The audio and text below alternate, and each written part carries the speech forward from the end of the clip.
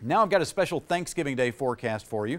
Turkeys will thaw in the morning, then warm in an oven to an afternoon high near 190 degrees. The kitchen will turn hot and humid. If you bother the cook, be ready for a severe squall or cold shoulder. During the late afternoon and evening, the cold front of a knife will slice through the turkey, causing an accumulation of one to two inches on plates. Mashed potatoes will drift across one side while cranberry sauce creates a slippery spot on the other side. Please pass the gravy. A Weight Watch and indigestion warning has been issued for the entire area.